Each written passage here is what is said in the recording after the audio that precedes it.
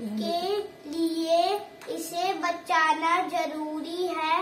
पानी, मनुष्य, पशु, पक्षी और पेड़ पौधों की ज़रूरत है। इसके बिना कोई भी जीवित नहीं रह सकता। हमें पानी को बर्बाद और दूषित नहीं करना चाहिए। पानी को बचाने के लिए हमें नदियों, तालाबों और झीलों को बचाना होगा।